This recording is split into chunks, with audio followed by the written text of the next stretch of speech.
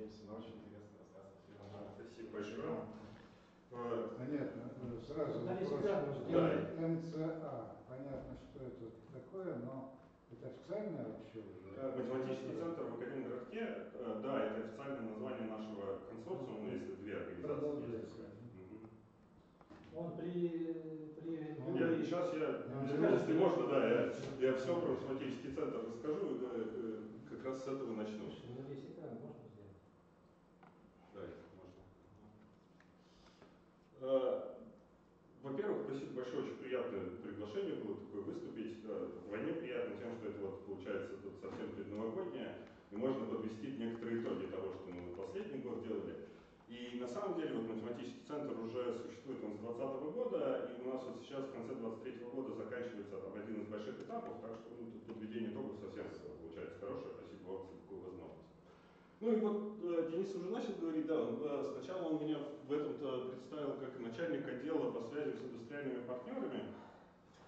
Э, вообще технические должности у меня заместитель директора математического центра при ММФ МГУ. Но это все такие штуки, я себе позволил такую шалость. Я добавил, вот недавно выступал перед школьниками, и один слайд оттуда взял из той презентации, я вот как я рассказываю, что, чем я вообще занимаюсь. И вот если есть представители индустрии, которые требуют, вот нам нужна прибыль, новое производство, там, деньги, то математики им обычно отвечают, ну, для школьников так рассказывают. Синус есть, косинус, производная. Так, так вот, мне мою должность нравится представить себе как некоторого такого переводчика, когда мы ну, представителям индустрии и математикам рассказываем, что они друг друга хотят и вот, ну, чем они занимаются. И поэтому, если хотите, я вот переводчик математического центра с индустриального математический. А, теперь про математический центр в Академгородке. А, я, кстати, немножко вот сразу так в карьер пошел. У меня презентация, она где-то может быть на полчасика, в любой момент можете задавать вопросы, и я тут несколько примеров э, раскидаю проектов. Если надо будет, я потом просто подробнее про любой из них можем поговорить, обсудить, как это все работало. Супер. Раз у нас методологический семинар, давайте методологически обсуждать, что у происходит. А, Итак, математический центр в Академгородке.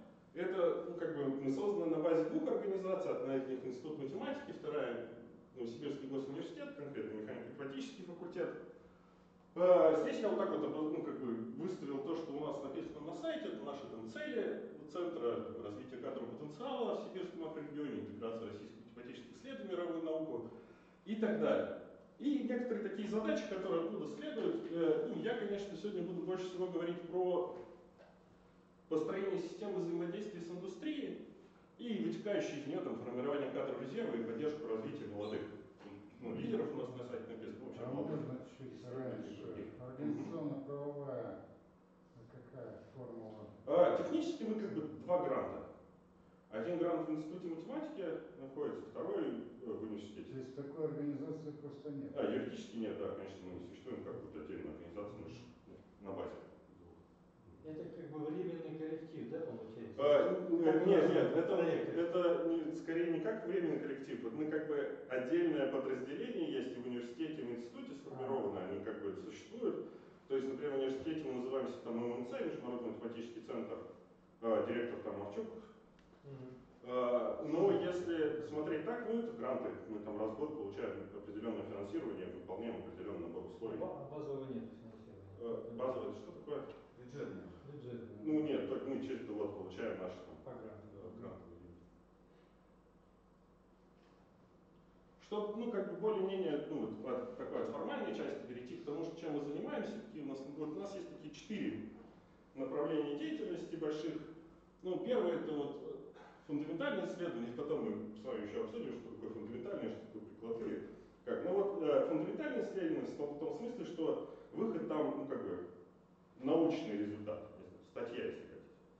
Э, Вот у нас есть 10 действующих проектов, как раз сейчас они заканчивают свою работу. У нас вот буквально там 10 января конкурс мы будем уже ну, смотреть, какие заявки пройдут, нет, на новый, на 24 год, кто будет участвовать. Вот, 22 заявки у нас сейчас висит. А, Был у нас там конкурс постдоков, про них тоже чуть чуть отдельно скажу. И организовывали мы разного рода короткие визиты. Это когда либо с курсом лекции приезжает кто-нибудь, либо когда, ну, поработать там на некоторое время приезжают исследователи из других регионов, каких-то стран. А, Есть у нас большая работа по образованию, мы там разрабатываем новые программы как в бакалавриате, в магистратуре, А, онлайн-курсами занимаемся, проводим образовательные мероприятия со школьниками, тоже чуть подробнее еще скажу. А, ну, есть, конечно, организация мероприятий, вот там больше 30 мероприятий мы проводим. Отдельно хочу отметить большую математическую мастерскую. А, она ну, важна и с точки зрения как бы, организации вообще, ну, то есть и образовательной, и получения новых э, ребят себе в команду и так далее. Ну, так и с точки зрения вот, прикладных именно исследований. И с этой стороны я про нее еще сегодня поговорю. Ну и есть вот те самые прикладные исследования, за которые я отвечаю. Э, Здесь сразу говорюсь из-за того, что у нас как бы вот, вот консорциум из двух организаций.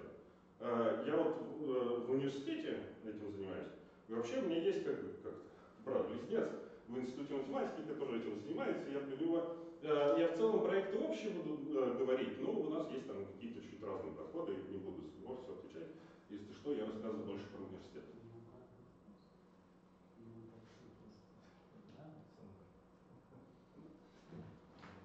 Э, Ну да, основное наше это работа с индустриальными партнерами. И если вы заметили, в названии у меня было ну, как бы работа с заказными исследованиями. Э, Здесь я пишу про прикладные, и вот про это мы тоже чуть еще позже поговорим. Разница есть или нет в этом. Ну и где-то, да, у нас получается в среднем в год вот это вот 25 миллионов. Привлечение вне бюджета мы перекрываемся, нам нужно каждый год 16 миллионов. Вне бюджета получается, это обязательное требование по гранту.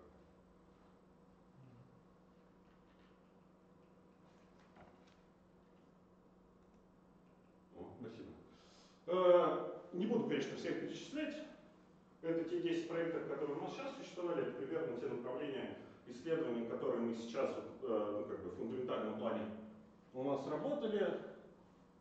Э, Наверное, проще сказать, что ну, это как бы коллектив, как бы не в основном, мне кажется, сейчас все э, в этом году, которые заканчиваются. Это коллективы из Института математики и более-менее представлены ну, почти все такие ну, большие направления Института математики, которые, если грубыми мазками математику смотреть.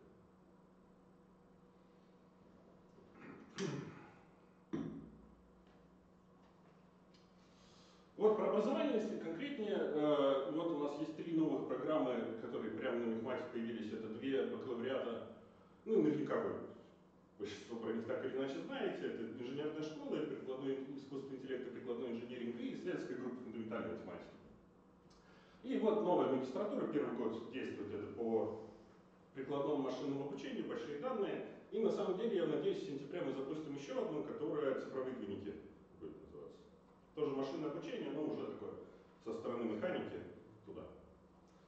А, э, Куча онлайн-курсов э, разработали. Вот мне больше всего нравится курс по вероятности и статистике. Вы уже знаете, сейчас школы добавили всем э, ну, школьникам, начиная с 6 класса, у них теория вероятности будет. Да, и эта теория вероятности, ну, прям ну, непростая задача как для учителей, так и для школьников, и особенно для родителей. И вот мы сделали такой курс, который очень простой, чтобы как бы, ну, смогли погрузиться все. Теорию вероятности как-то более-менее просто. Э, Ну, здесь вот мы э, про школьников, образовательные проекты школы, А много с проектов. сайтом от центра это на этот курс можно выйти там по ссылкам? Э, Честно, я не знаю, на какую программу, ну, сейчас он только-только готов, А, его вот записали, я даже не уверен, что он уже ну, лежит где-то на сайте, то есть, вот, его вот, новость на НГУ была, что его подготовили, может, там неделю назад, ну, то есть, как бы прям вот совсем новье по, по теории вероятности. Вопрос про онлайн у вас есть? Э, Как, как вы записываете?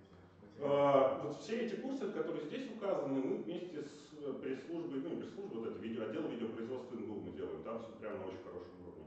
То есть на единой платформе все? А, нет, платформа, для которой выкладываются, честно не знаю, куда сейчас это все выкладывается, сходу не скажу. Ну, если надо будет, посмотрю и, и скажу потом. То есть, куда конкретно сейчас они выкладываются. А, потому что самый первый курс, который мы выкладывали, он был еще на курсере, а, ну, вот, который линейная алгебра. Ну, а сейчас куда, я вот точно не знаю, куда это все выкладывается, какая сейчас основная платформа в России считается. Тяжеловато представить.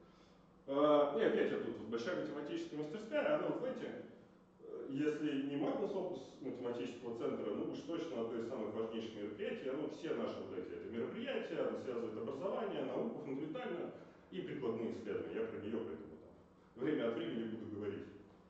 Еще вот про программы, которые новые запускаются. Как бы есть такой лозунг, магистратур много не бывает. Да, да. Как, как вы Либо и так уже много.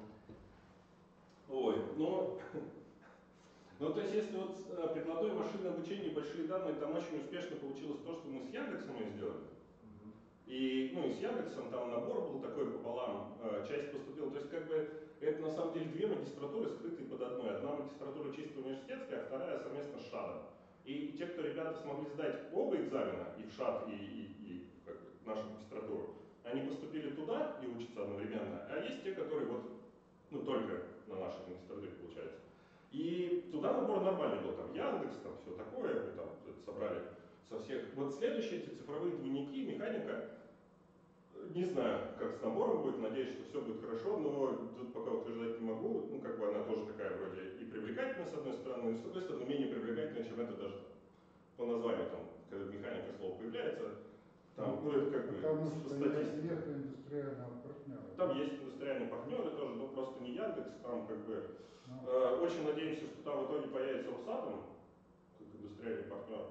Э, Но из наших, вот там есть там всякие э, инжиниринговые компании, Академа там точно уже заинтересованы, они туда прям хотят войти, и технопарк там сильно участвует. Но надеемся, что будет кто-то еще подальше, побольше, так скажем. Это про образование.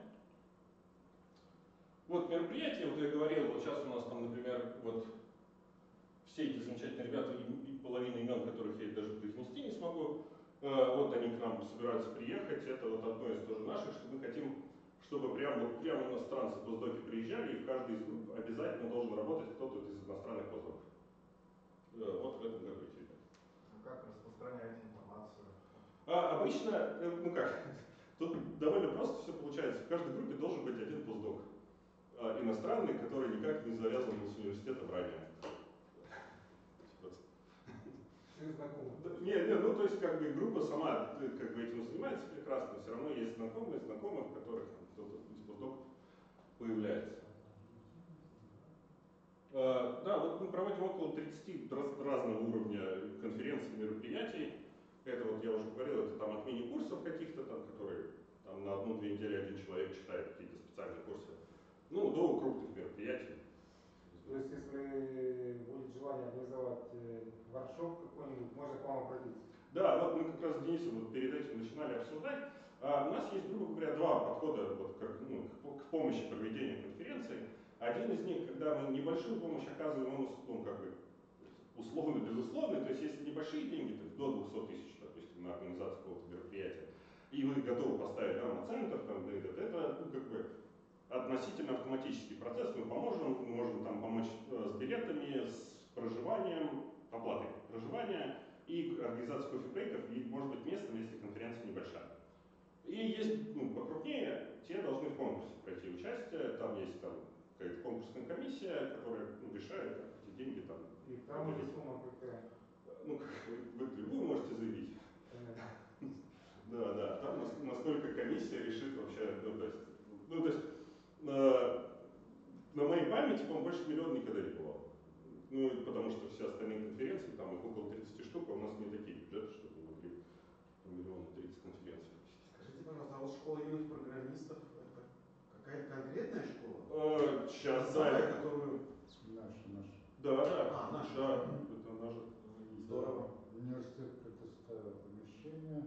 А, то есть это именно в рамках вот этого взаимодействия. Это математический центр, А, да, да, да. вот, э, Матцентр, по-моему, немножко профинансировал. Я точно не знаю. Ну, там, ну, э, там организация кофебрейков, опять же, по-моему, была вот для этого всего. То есть, ну, это вот такие какие-то вот именно и- техническое сопровождение этой школы. Ну, это по-моему, тоже подключался как раз к последней школе. Не, ну как Примерно уровень вполне вероятно, да. Ну, там буквально какие-то мелочи, вот, а их тоже из Приезд двух, например, э, Мастеров. мастеров. Да, да. Важно причем для, для наших. Мгм. Приезд, проживание, ответственно. Мгм. И, ну, опять большая математическая мастерская. Да, это, так как у меня про нее отдельные слайды будут, я все время здесь просто упоминаю, потом... Чтобы потом-. Да, да, чтобы, да. А что это за фестиваль? Это математика. А, фестиваль это математика, тоже э, не очень мне нравится проект такой. А, студенты у нас организовали. а, в какой-то момент они решили, ну, вот хочется сделать что-нибудь, знаете, чтобы популяризовать математику. А, пару студенток э, знаете, причем, если вот здесь, вот в Академгородке, тут как бы с этим проблем нет. Тут как бы куда ни ткнись, обязательно что-нибудь будет. Там школа какая-нибудь, поддержка математическая, еще что-нибудь. Ну, то есть, вот. А в центре э, многие даже про университет не знают, не то что про мехмат. То есть, если куда-то выехать, но не знаешь, что есть что такое университет, есть что-то страшное под названием, там, может быть, мехмат, как, как туда поступать, что там делается, как вообще происходит, ничего не знаю. И они начали с организации вот еще в 2020 году они первые начали организовывать, это где-то в городе, они там нашли, там договорились, какой-то там open space, э, и провели, и там он, он рассчитан где-то, вот, не знаете, там от 5 класса до 11, вот на таких детей. И там вот все подряд, там сборы, сборы разных математических пазлов, каких-то головоломок логических, ну вот лекции. Я вот выступал в 2021 году, например, там вот рассказывал какие-то наши прикладные проекты, такие более-менее простым языком. И вот, вот собираются они, вот в этом году мы в Тюмени провели первый раз такую выездную, такое тоже мероприятие, организовано чисто студентами, начали студенты. И, В принципе, наверное, можно через э, городское отделение точки кипения проводить там А. Можно, есть как бы проще места, чтобы получить, там есть вот отдельные центры, которые можно напрямую поговорить и провести. Там, проводили, как же он, балкон называется, открытое пространство. Без проблем. Приехали, провели, сделали. Ну а теперь вот про прикладные исследования начну. Э, Я вот здесь вот написал вот эти вот три столбца, это как бы примерно задачи, с которыми мы уже сталкивались, то, что мы делали, это Поэтому я могу включить условно в компетенции, с которой мы занимаемся. А, а так вот, если, ну опять, э, что в рамках взаимодействия у нас есть как бы два подхода. Э, Первый, э, я в качестве примера здесь написал лабораторию прикладных цифровых технологий. Это отдельная наша лаборатория в Моцентре, которая способ финансирования другой. Если все остальные группы получают базовое финансирование и должны выполнить набор там, статей, который, ну, там, набор статей, набор конференций, привести столько-то там постдоков или аспирантов, а, то у этих ребят у них не бюджет. А, мы с ними так договорились изначально, мы их не, как бы мы не финансируем их ежегодно, мы дали им стартовый какой-то бонус, чтобы они смогли закупиться, там, людей первых нанять, а дальше они вот полностью на самообеспечение выходят. И их основная цель это вот решение индустриальных задач, и их подход в том, что они развивают одну конкретную, например, прикладные цифровые технологии, они машинное обучение развиваются. Они вот э, обрастают разными новыми людьми, именно конкретно занимаясь машинным обучением, начали они с решения дифференциальных уравнений машинным обучением, а сейчас уже все подряд, и распознание текстов, речи, и там, начинают себе. Например, лаборатория, ой, э, про которую говорил, она тоже вокруг них образовалась. Цифровые двойники сейчас тоже вокруг них. Решение дифференциальных уравнений, какие-то там слишком многопараметрические системы. На вес Кокса они решают, да. Ну, то есть на вес Кокса чистыми методами решается, ну, как бы решается, ну, там, достаточно долго. А я про это тоже буду говорить, если что, у меня слайд будет, там, там про один из результатов. Я что-то забегаю вперед, извините. Эм, И второй подход, э, себя Э, Второй подход, он следующий, мы как бы создаем временные трудовые коллективы для решения конкретных задач. Э, Похоже на гранты, э, смысл в том, что мы каждый раз команду новую собираем, она всегда там содержит новых каких-то студентов, новых аспирантов, и очень разные компетенции по математическим знаниям нам нужны. И про конкретные эти примеры я тоже буду говорить, но вот разница именно в подходе. Первые ребята, они развиваются в одном конкретном направлении, э, работают по решению конкретных задач, которые к нам приходят, а, и вот мы как бы, ну, Тут очень сложно сказать, кто такие мы, потому что каждый раз коллектив, там, я и, и, и люди, которых мы ищем временно для того, чтобы это что-то работало.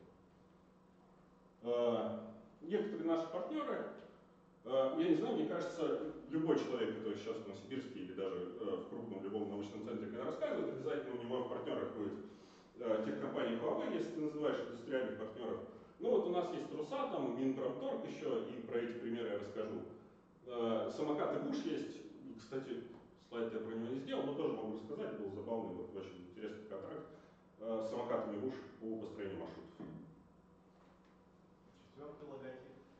Э, Силовые машины да, и Сигнупров. Ну, это только набор примеров, я буду рассказывать, что с ним работаем, что дальше. А вот теперь э, про термины. Тут раз мы выбрал заказные, а потом напишу прикладные. Э, вчера в этом философском словаре скопировал, что такое фундаментальные исследования, что такое прикладные исследования. У нас просто с коллегами в математическом центре про это спор всегда есть, но не всегда есть точка зрения, что прикладными исследованиями надо вызывать те исследования, которые действительно прикладываются, но пойди разберись, что такое действительно прикладывается, и пойди разберись, где заканчивается фундаментальная наука, где начинается прикладная. Если те, и другие, например, статью опубликовать в конце, то вроде как вы оба ну, как бы совершили какое-то новое научное знание, получили. А, поэтому я всегда для себя, ну, мне удобнее выделять заказные исследования, те исследования, когда конкретно внешний заказчик пришел, заказал какую-то работу, а, можно использовать термин «неокр», а, но неокр очень плохо действует на бизнес-партнеров, когда им рассказываешь. То есть, когда ты приходишь и говоришь, вот мы, знаете, делаем неокры, они как бы сразу теряют. А заказные исследования нормально. Заказные исследования делают аналитические службы, маркетинговые исследования, все называют заказными исследованиями. Мы как бы тут вот тоже оказываемся с ними в одном какой-то поле. Поэтому да, заказные исследования. А, и вот я уже говорил, есть у нас э, два подхода к решению. И по этим же двум подходам у нас на самом деле можно и заказчиков всех можно взять, э, ну, есть вот заказчики, которые, у которых есть свои собственные крупные R&D-центры, им на самом деле математики или там любые другие исследования нужны, они нужны конкретно для того, чтобы, ну у нас есть задача, у нас нет этой компетенции, решайте. Они могут сформулировать конкретную задачу, сформулировать сроки, и как бы э, там не нужен вот этот вот тот самый перевод, про который я говорил вначале. Есть остальные их очень много, если говорить, ну даже с точки зрения финансирования, это где-то 50 на 50. То есть э, даже крупные компании, у которых есть, есть, есть крупные компании, которые просто, ну, которых просто нет R&D-центра, например, Министерство промышленности и торговли, э, ну потому что оно большое, там где-то может есть, но мы с ними не столкнулись. Э, и у них вот всегда, вот, вы знаете, проблема есть, или потребность, или что-то такое. И, и там требуется обычно целая серия встреч для того, чтобы хотя бы определиться, а что вообще там, с математикой нам делать, какая там математика будет, что тут туда дальше делать, какая команда понадобится.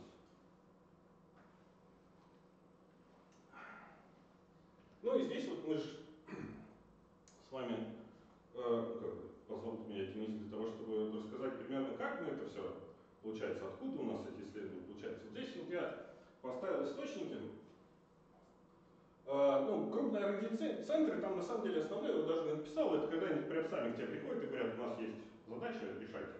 Это нормально, вот Huawei так часто делает, они уже знают, кто есть там, здесь вот, на, на поле и уже знают, к кому обращаться. У нас есть задачи и деньги. Ну, нет, да, да, да. Согласен, да. Ну, я, как бы, я, я про другие-то задачи тут не говорю, я вот, вот да, сегодня про них.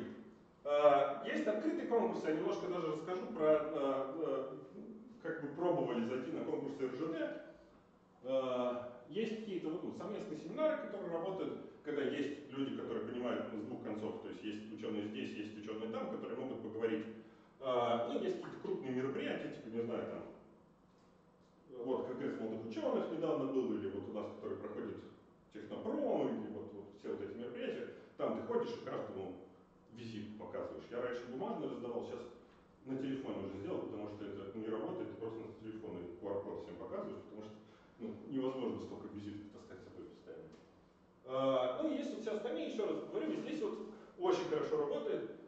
А, я вот уже несколько раз про Министерство промышленности говорил, оно в сарафанном радио нашлось, чтобы было понятно, что это не из каких-то крупных, а есть люди, которые знают людей в министерстве, эти люди знают нас, они говорят, вот кажется, у вас похожий проект, и вот, вот так это работает. Это удивительно для меня, что ну, даже какие-то большие крупные проекты, они все равно приходят таким методом.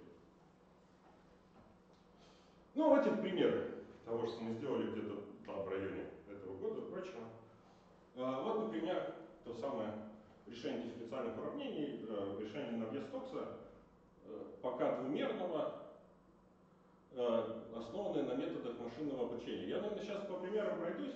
Если будет интересно, чуть подробнее, ну я про некоторые проекты только чуть поподробнее могу сказать, про некоторые могу прям вообще ну, до винтика разбирать, но про этот вот чуть-чуть могу подробнее рассказать. Это как раз результат э, лаборатории Рустама Луджанова.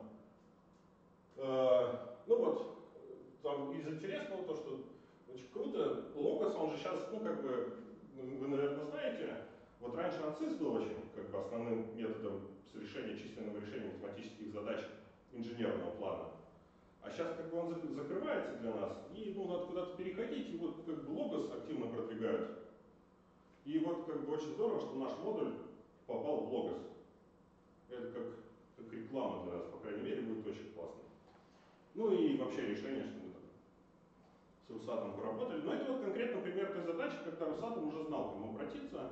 У них была конкретная задача, они говорят, вот вы, мы, мы видели ваши статьи, вы решаете дифференциальное уравнение машины. Машинное обучение вы решите нам вот и такое. Ну, конкретно такой пример. А, Ну вот еще один тоже такой же пример. Это как раз техкомпания Huawei. А, Хотят собственные значения искать ну, себя быстрее на своих процессорах. Не используют не какое-то общее программное обеспечение типа Арпака, а хотят использовать собственное у себя. Вот тоже обратились конкретным ребятам с разработкой. Этот проект еще, ну, как бы он в процессе, поэтому тут все вот это ожидается. Не, не могу утверждать. Ну, В процессе работы. Что с стороны центра? А, э, э, Заходили точно через ПЦТ, но вообще, по-моему, там еще из институтских кто-то есть, Э, надо уточнить, сколько не возьму. э. А, Точно есть из института математики ребята, кто ну, собственными значениями помогает.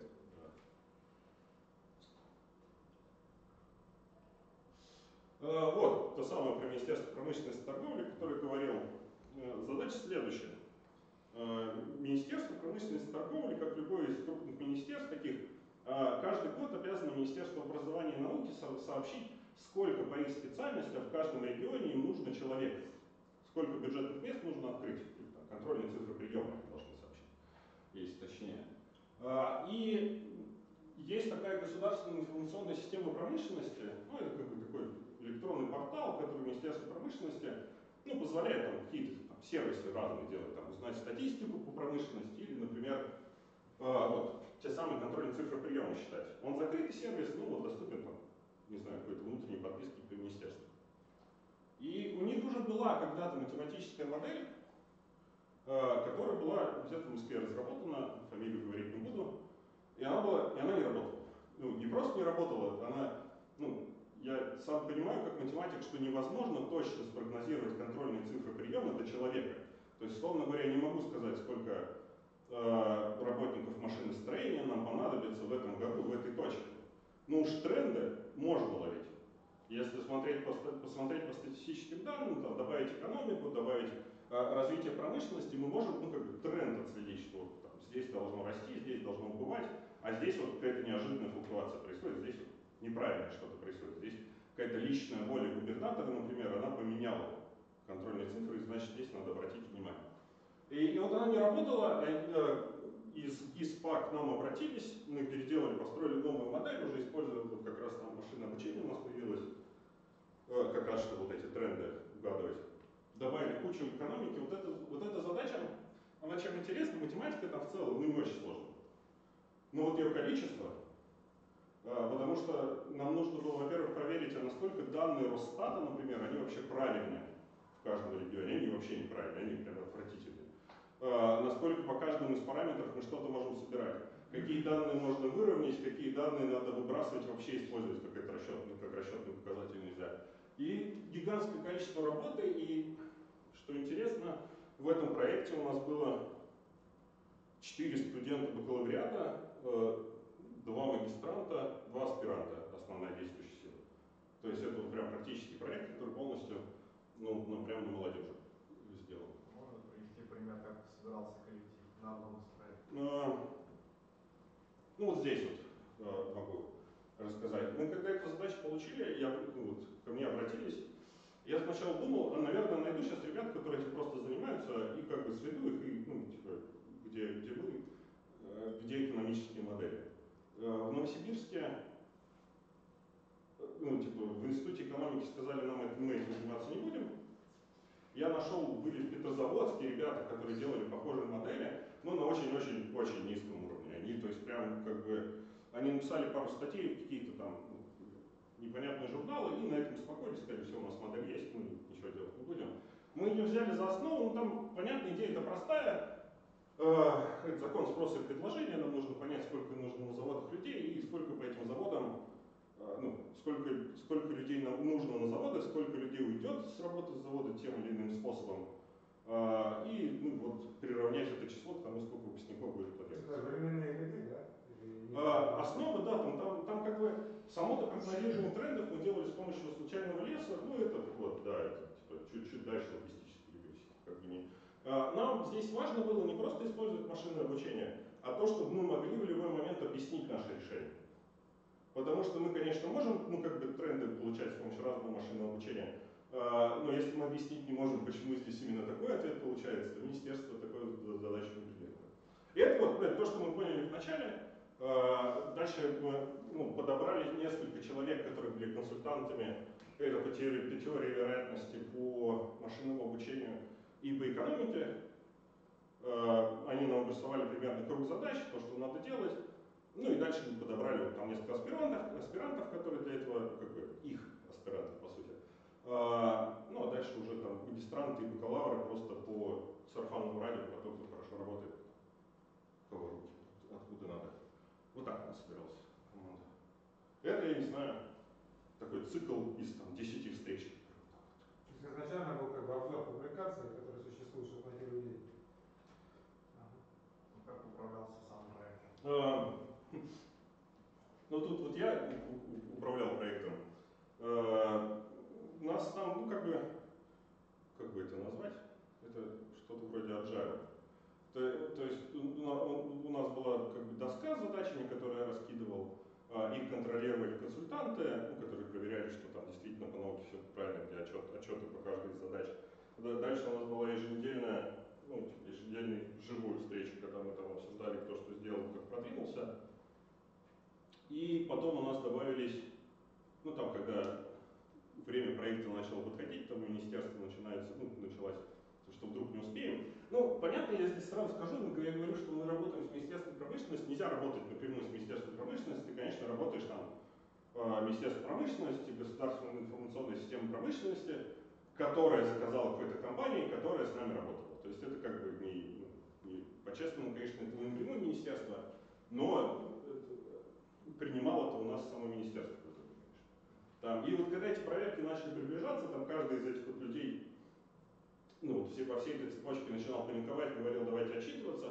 И у меня в какой-то момент, я уже вот вылетел даже из этих метапов, у меня просто каждую неделю по три раза я перед разными людьми рассказывал про то, как мы продвинулись в нашем проекте.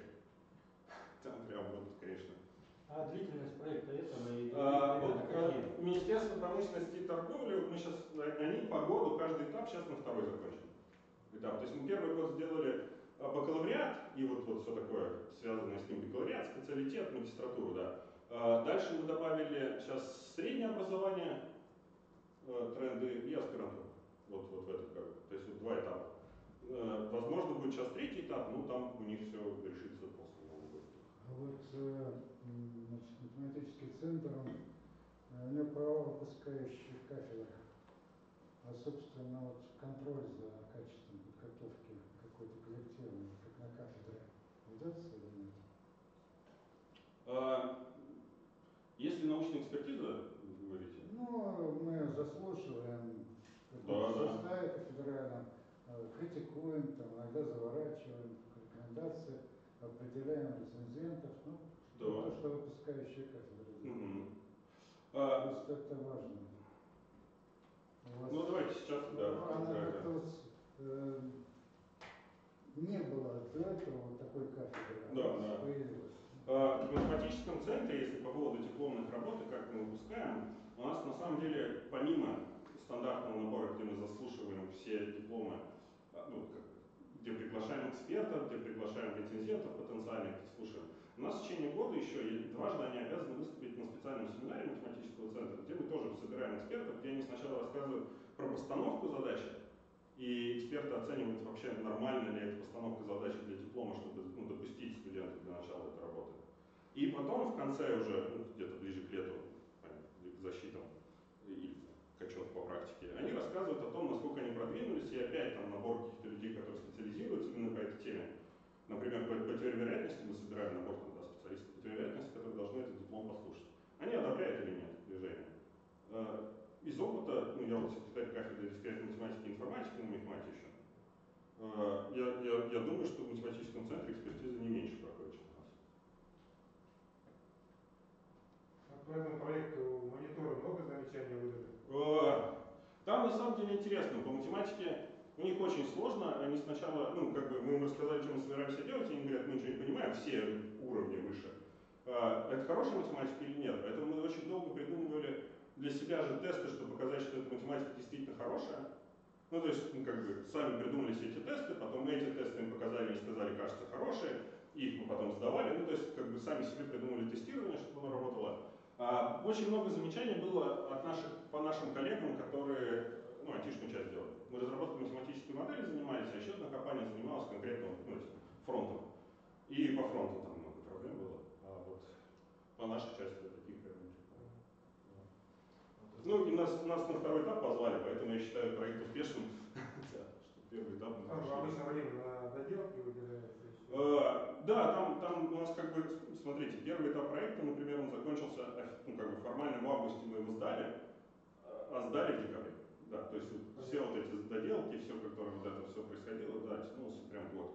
И второй этап мы уже сразу это заложили, научились, а, поэтому у нас формальная задача была в апреле, закончили в июле, все нормально, да, то есть уже как бы научились это делать.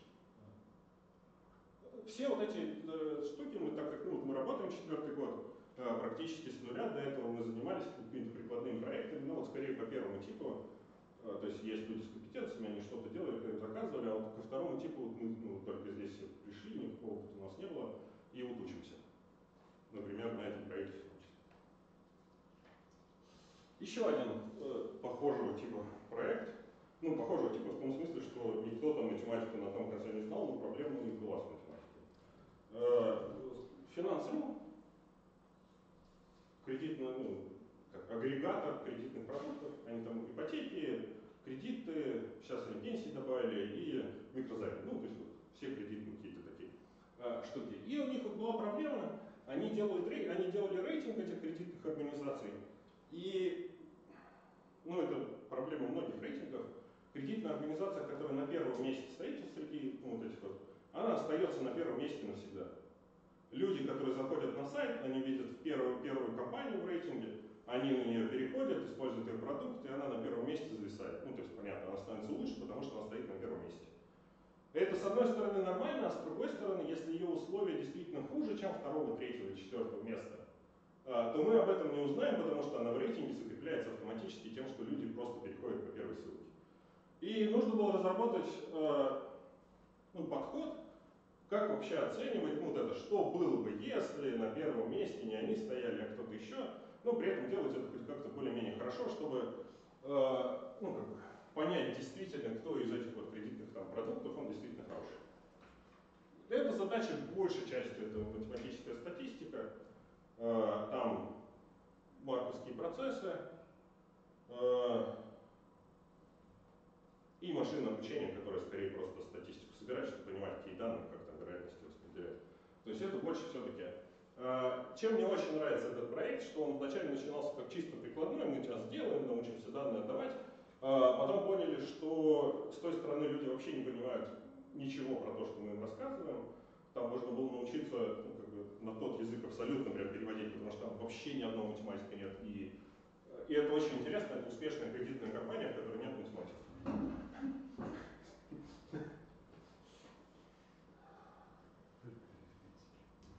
Взяли какую-то неправильную теорию бы.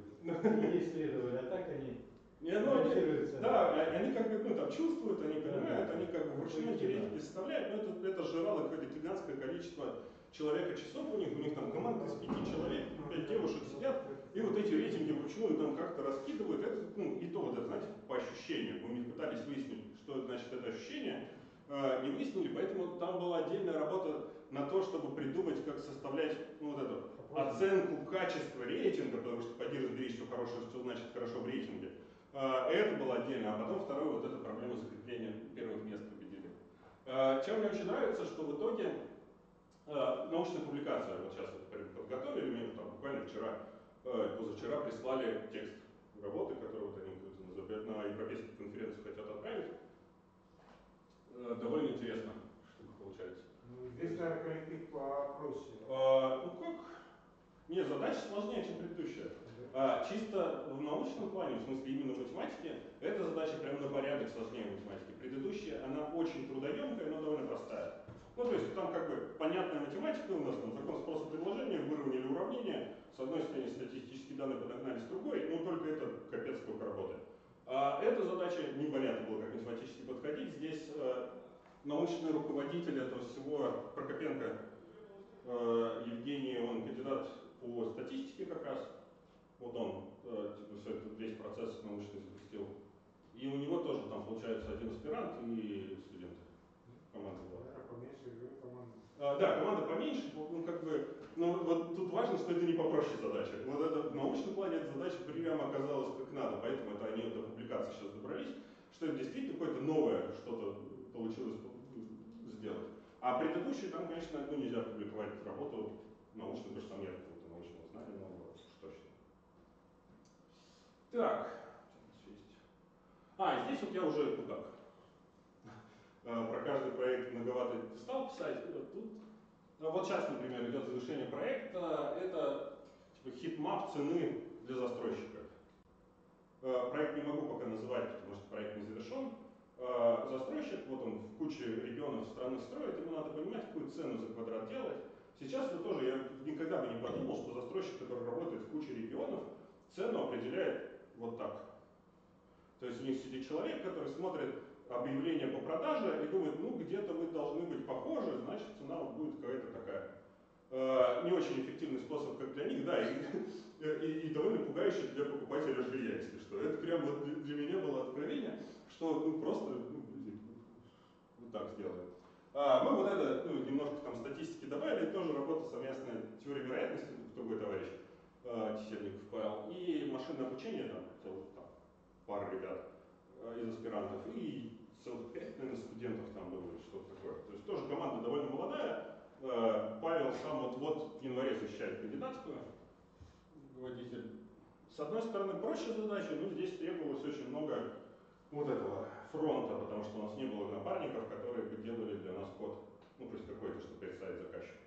Поэтому там вот из этих пяти студентов трое, ну, прям кодом занимались, они сидели и создавали красоту, чтобы этот heatmap красиво выглядел, чтобы заказчик видел, куда это все надо. А, еще одна вот задача была, ну, компания в итоге отказалась, это вот как раз в феврале прошлого года, и поэтому компания отказалась. Ну, то есть там резко поменялись условия, так сказать, жизни в компании. Но была очень, ну, мы прошли просто несколько этапов, расскажу, как мы с ней работали. Э, тоже э, Сибирский университет, они запустили индивидуальную, индивидуальную образовательную траекторию. А раз индивидуальная образовательная траектория, там, как бы, понимаете, расписание, ну, не чита, например, нашего университетского. Когда тебе нужно каждого студента, каждым преподавателем э, со специальной аудиторией, с нужным количеством, там, не знаю, оборудования, э, из кучи-кучи других констрейнтов, где, например, учитель, э, преподаватель не может ну, в этот, из этой пары, ну, из этой аудитории в эту аудиторию просто добежать физически, они этих констрейнтов добавляют. Очень круто все описали, у них очень много было всех вот этих штук. Две недели считалось. Две недели считалось расписание. И это просто, то есть как бы ты в середине августа запускаешь, она у тебя к сентябрю готова, э, работает, потом преподаватель заболевает и все. А вот мо- можно не подойдет на этой задаче немножко остановиться. У нас, в общем-то, опыт очень э, такой давний э, в области составления расписания, внедрений в НГУ, там, в другие организации.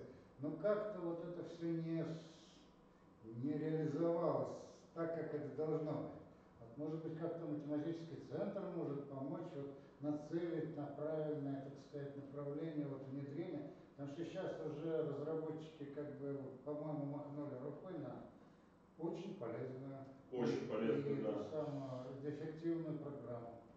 Э, Вам спасибо большое, это одна из, ну, зачем я в том числе здесь. Э, Ну, мы как бы работаем в основном с людьми, да, которых мы более-менее знаем компетенции, знаем, что, что готовы они вступиться в наши проекты и прочее. Одной из целей того, что я здесь сегодня рассказываю, я бы хотел очень, чтобы мы, мы с вами тоже также начали сотрудничать. И если я буду знать про то, какие ну, вещи вы готовы делать, в какие проекты вы готовы вступаться, я с удовольствием буду и, и, и про эти проекты рассказывать где-нибудь, где я там постоянно бываю. Это вот одна из этих вещей, или если у вас есть а, те наработки, которые нужно продвинуть, это тоже все то же, то же самое, я готов принципе, заниматься, если мы там, как бы с центром можем этим помочь, ну, я только за. Поэтому и с расписанием в том А числе. скажите, пожалуйста, таких траекторий много, да? Индивидуальных, то есть, вот. Да. Да, то есть у них было какая штука? Здесь-то одно расписание в университете, Да, там, то есть это из-за того, что она индивидуальная, тебе как бы э, э, студент, он не привязывается к одной группе, он привязывается, ну как бы вот сегодня я в этой группе из пяти человек работаю, на второй паре там из другой группы из пяти человек, завтра вообще в другом потоке, то есть у них вот эти, плюс у них были модули, вместо семестровых вот этих вот работ, которые мы выставляем, а у них были модули, например, по три недели. И это же капец, у тебя каждые три недели надо опять пересобирать это расписание. А он, ну, и он сумасшедший был. И ну, они говорят, ну вот у нас как бы две недели она пересчитывается, и если мы даже, они использовали оптопланер, если что. Чтобы, ну, вот для, для тех, кто расписание знает, они использовали автопланер, и они говорят, не понимаю, мы каждый раз заново запускать же надо, вот эти опять две недели ждать, не хочется. А вроде как, если у тебя расписание ну, немножко поменялось, тебе вроде не надо же. ну, как да, то есть тебе же не надо заново пересчитывать. А, и там была идея а, из интересного, там много всего, там надо было просто перебрать, во-первых, код, мы до этого этапа добрались, там код на Java какой-то очень, ну такой, ну то есть там ладно, там еще очень далеко было до хорошо написанного, это чего, чего же как бы программы, там может быть и этого хватило бы, чтобы она работала получше. А, но из интересной мысли, что там было, а, ну там же Object используется. И стартовая точка для Object, а, она используется обычно, ну как она рандомная, более-менее. И мы нашли статьи сейчас идут, что очень интересная затея, когда ты старт для Object используешь с помощью машинного обучения начинаешь определять. И вот мы хотели вот эту штуку туда попробовать строить. Это чисто интересный, как и научный эксперимент для нас, потому что, ну как бы, э, интересно попробовать, можно ли с помощью ну, сбора статистических данных, потому что расписание, оно, ну как бы, неважно, насколько оно там меняется, оно однообразное. То есть человек, который не успевал за 10 минут добежать, он и в следующий раз в расписании не успеет за 10 минут добежать. И вот эта точка старта, возможно, подбирается хорошо. Не, не проверили, да, э, ушла, мы там ком- команду собрали, начали обсуждать, ну, закончили. У меня сейчас магистрант э, по, по близкой теме си- сидит, смотрит, что можно сделать. Но это, конечно, не прикладной проект, как бы про это так рассказывать. Вот РЖД, про который я говорил. да. Вот э, Ага. это все здорово. Я все-таки хотел бы понять, а как, какая модель-то? Мы, э, и мы, и университет занимаемся все-таки фундаментальными исследованиями. Да. А вот, вот этот самый м, путь прикладной полезный продукт, он не маленький. Он требует не столько студентов, сколько грамотных инженеров, коллектив, который годами занимается. Значит, либо промышленный партнер, либо как, какое-то выращивание вот, э, ну, как, короче, это коллектив, который не, не собирается на полгода или даже на два года. Э, Я согласен и не согласен с вами одновременно. Э, Для некоторых задач, несомненно, это так. Если вы хотите, ну, не знаю, довести до серийного производства ну, какое-нибудь инженерное решение, несомненно, вам нужна инженерная компания, в которой надо работать. Но если мы говорим... Ну вот составление расписания для вузов это Ага. не решенная в нашей стране задача. Это правда. Можно было бы э, доделать ее. Да, можно было бы, абсолютно с вами согласен. Если ну, найдется для этого потребитель, тут видите, она же не решается почему? Потому что университеты не готовы за это платить. Ну какие-то надструктуры. Это Ну, дискуссионный вопрос. Понимаете, да, я как бы с одной стороны абсолютно с вами согласен, должны быть, ну нету, э, нет вот этих структур. Э, Например, в университете для этого создана структура, которая называется СТТК. Э, Я, ну, я вот занимаюсь этим третий год, не знаю, как работает СТТК, ни, ни, ни- никак мы с ними ни, никогда не взаимодействуем. Поэтому, с одной стороны, согласен, должно быть, так должно быть, но нет. Вот как раз РЖД, это вот тот самый, где мы не смогли добраться до вот этого готовности, до выхода на высокий уровень готовности технологий, извините, тавтологию. А, нашли открытый конкурс, решили попробовать, а что нам, давайте прямо за- за- заскочим в открытый конкурс на сайте в РЖД. Э, РЖД, причем, который питерская, который э, дороги. А, ну, они, они выложили там с десяток задач, мы нашли три, которые нам подходят вроде бы. А, автоматическое определение цвета светофора, машинное обучение, машинное зрение, вот там такая задача. А, новые сейсмодатчики, ну то есть у них там сейсмодатчики, понятно, есть, нужно было разработать, которые меньше, там, не знаю, вычислительной мощности или меньше, там, а, меньше времени работают. Я уж точно не вспомню. И еще одна была оценка износа тормозного башмака, там, задача по статистике. А, мы такие все подобрали, у нас есть специалисты, подобрали трех руководителей проектов, они посмотрели, выдали какое-то описание, мы такие, все, мы готовы. И отправились в Питер прямо конкретно на встречу с компанией ЖД э, туда. Э, и у нас были, э, мы как бы не просто даже отправились, у нас были коллеги, компания Акан. Это инжиниринговая компания, которая вообще занимается атомной, ну, как-то, инструментарием для атомных электростанций. Они делают всякого такие, «А нам интересно что-то еще попробовать. Мы с ними как раз встретились на одном из конгрессов. Мы говорим, а мы можем математическую модель делать, давайте соберемся вместе, поедем. Вот сейчас вот как раз мы нашли инжиниринговую компанию которой будем сотрудничать. Приехали в РЖД э, и не прошли просто по, потому, что они говорят, у вас не очень готовый результат. Мы приехали с идеей, мы приехали про то, что мы знаем, что у нас есть инженерная компания. Они говорят, где опытный образец? Да. Мы такие, а, ну, это, это было удивительная для нас вещь, потому что как, как можно построить опытный образец, когда у тебя нет документации, которую тебе нужно делать, это прям вообще что-то странное. А, я потом-то после конкурса понял, как эти конкурсы работают, но когда мы туда приехали, это такой, как так-то? Как же? Да, типа, как, как мы вам опытный образец это сделаем, если у вас документации не было? Он говорит, надо было взять. А, документацию, ты такой, ну да.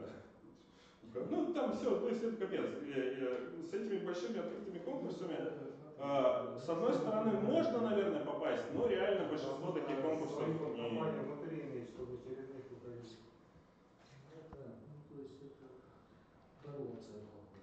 Ну, вот это, вот это не совсем, ну уж я не буду не про это, это что-то еще. Вот, это, ну, может и не такое дело, но то, что это на кого-то конкретного рассчитанный конкурс, это все-таки оказалось так. А можно них заскочить, можно, но где-то надо на этапе, видимо, пораньше это научиться делать, пока мы не, научились. Хотя, ну, много всего интересного есть. А, вот еще одна задача была, которую мы уже не подавались, но поговорили, попробовали. А, эти, называется, э, крас, ну, это Красэнерго, но они не энергетики, они же не, не Красэнерго, там у них есть РСК, это там сети отдельные, там отдельные генераторы, вот, вот сети, которые, те, которые занимаются передачей. Э, и вот у них проблема была, вот диспетчер, э, ну, диспетчер, который сидит за пультом, должен отслеживать, ну, где там отключение энергии прошло, не прошло, и вот дернуть тумблером, когда там вдруг если прошло. Э, и этот человек годами ходит на работу, вот, выполняет более-менее похожий функционал. Можно ли определить, что человек резко изменил свое поведение mm-hmm. по этим? Потому что, ну, мало ли человеку что-то, ну, это же отключение электроэнергии, это стратегически важная как бы, штука. И если человеку пришли и как бы ну, надавили на него, поменяли его поведение каким-то образом, он может не то отключить что-нибудь. И нужно отслеживать было вот, вот это вот статистические данные по человеку, насколько он себя ведет хорошо. Э, интересная задача просто с точки зрения науки, что насколько можно ну, вот это вот обыкновенность поведения отследить. Это прям вот такое. Но тоже у них там уже ну, без нас этот конкурс работал. Ну, подобная задача в Росатоме есть. Ну, Наши коллеги московские, как раз операторы вот этих всех, которые там работают, рассказывают, что такой проект есть. Это вот Кобринский, там еще кто-то. Ну, я, я, я уверен, что они не просто это, ну как бы... Ну, у них давние связи, поэтому там Э, вот еще МЧС Камчатского края, кто-то, наверное, слышал, где это там в Институте математики рассказывал. Э, это коллеги ваши, ну, как бы научная группа вообще, соседи, коллеги ваши. И, э, это где Вячеслав Константинович Гусяков, главный. Вот сейчас мы для обзорную карту обновляем. Идея в том, чтобы появился этот сервис, ну не где-то на Камчатке, пока я когда рассказывал, говорил, что вот мы прямо МЧС будем передавать. МЧС не готов на себя какие-то IT-сервисы брать в Камчатке. Но у них сейчас э, вот есть этот университет Беринга, который Камчатский госуниверситет, а, и они в том числе тоже получили приоритет. И им прям очень интересно развитие всего, что можно развивать для себя, и вот мы надеемся, что у них этот сервис будет э, работать. А, чтобы разместить его ну, непосредственно там. Сейчас начал работать. Ну, это вот обновленная вот эта карта для сервиса Камчатского края. Еще один проект, прям новый, вот, вот только там пару недель начали. Э, Я не знаю, знаете ли вы компанию Starbucks? Она делает приложения для айфонов и андроидов, которые позволяют э, карту неба посмотреть. Ну, то есть, ты когда смотришь, она звезды определяет, говорит, вот это созвездие, вот это вот звезда, которая такая-то. Э, Классная штука, Starbucks 2, по-моему, сейчас приложение. Э, Ну, просто приложение, мы все пользовались, и тут эти ребята к нам обратились, мы с ними поговорили, и это прям великолепная для нас штука, что это очень популярное приложение. А, компания, сложно сказать, она как бы российская, но нет. Ну, там, там все русские, но не все не, не в России. Ну, частично кто-то здесь есть, ну, то есть они давненько переезжали, все это же еще не, не связано с событиями. А, но вот мы с ним сотрудничаем, и вот у них задачка такая, они хотят, если вы вдруг пользуетесь этим приложением, то можно вот так вот на крышу поднять, и оно тебе все равно покажет звезды. Потому что там сейчас гироскоп используется, э, гироскоп и ну, GPS-координаты твоего телефона. А это ну, не очень хорошо, когда ты ну, можешь на, на стену посмотреть, все равно звезды увидеть. И они хотят э, в реальном времени эту маску вырезать, ну то есть определять по, по видео или фотографии небо, и в этом небе рисовать звезды. Ну, чтобы не было вот этих вот наложений, что ты из дома смотришь. Э, тоже задачка поначалу думали, да сейчас там, господи, что там это небо сегментировать. Э, ну нет, там, конечно, есть очень-очень-очень хитрые штуки, типа э, отражение в солнечных очках неба. Должно звезды показывать или нет. И, ну и вот, вот прям вот такие штуки. То есть вот ты сначала думал, ну, что, ну как бы реально там э, каким-нибудь стандартным э, там трансформером, там машина обучения нормально все это умеет определять. Ну как бы нет, там вот, вот из-за вот этих вот всех деталей, там сейчас надо специальные датасеты делать, там ну как бы целая, э, целая работа, которая вообще не, не представлялась вначале, но вот, прикольно, что это приложение используется, и это можно будет прямо увидеть вот, вот прям вот, что у тебя происходит. Работа на какой срок? Э, У нас, ну как, мы с ними распланировали что-то около четырех этапов уже. Вот первый этап на три месяца, это чисто вот это, познакомиться, попробовать сделать какую-то маску. То есть, ну, чисто вот такое, они как бы к нам примеряются, мы к ним, что это нормальные вообще заказчики. Про ненормальных я еще расскажу. Э, Что, ну, что можно работать, какой-то небольшой там буквально проект. То есть, как обычно, э, код таких заказчиков обычно не устраивает, приходится разбивать на более мелкие этапы. Ну, и сто делать процентов. промежуточные Э, результаты получать. Большинство задач, которые я здесь называю, они все, да, не полгода, три месяца. То есть это вот э, крупные, которые вот ребята типа Huawei, они, конечно, могут. Они могут на два года с тобой проект заключить, нормально работать, с ним можно планировать, но у них конкретные задачи. А вот если что-то такое, когда ты именно ну, как вот, развиваешься студентов, подтягиваешь, там не бывает, там за планирование очень тяжелая вещь, конечно. Э, части науки. А, ну вот про магазины, просто, конечно, не могут держаться. Обратились, говорят, вот у нас излишки скапливаются на, на складах, э, нужно отслеживать. Э, мы, мы говорим, давайте, конечно, и начали вопросы задавать. Списком просто, какие, ну, ну, там, э, какие, какие вообще ну, товары хранятся, есть ли у них там какие-то показатели, как это все отслеживается, как там камера есть или нет. Они сказали, что-то душно сильно. И отправились. Да, да, что типа слишком много вопросов задаем. И таких на самом деле очень много, конечно. Э, Тут надо понимать, я здесь какие-то отдельные примеры ставил. Э, Выглядит, может, плохо, хорошо, плохо, не буду утверждать, но показывал хорошие примеры, но э, в целом где-то процентов, не знаю, 10 проектов срабатывает, э, 90, ну просто либо мы не добираемся до начала работы, либо вылетаем где-нибудь там еще по какой-нибудь причине. То есть, как бы, здесь очень много, я там слово нетворкинг писал, а, вот здесь очень много вот этого. Тебе нужно ходить, каждому человеку рассказывать про то, на каждом мероприятии, которое бывает, а, рассказываешь, как мы много всего делаем, как мы много разных там математик уже знаем, приходите к нам, потом ты разговариваешь, потом они от- отваливаются и так далее, и так далее. Но вот с годами явно прогресс есть у нас, мы вот даже по этим мелким, условно мелким проектам, э, ну, явно набираем, э, видимо, работает и радиосарафанно, и вообще как бы, успешно сдаем проект к нам обращаются. Если я пойду, зарядился вот этот. А, ну, микрофон? Тогда я переключил на камеру. Я просто забыл а, зарядить. Да, нормально, да, все. Что он ну, слышится? Там не жаловались. А то я посмотрел, да, ты раз вел красный? Что-то он не хотел. Так. Дальше. А, вот. конец? А, ну и вот, я обещал слайды про большую математическую мастерскую. Э, Вот очень для нас важный проект, э, даже касаясь прикладных исследований. Часто заказчики, они не готовы сразу начинать работу, сразу какие-то деньги предлагать серьезные. Они хотели бы попробовать понять, что это вообще возможная задача или нет.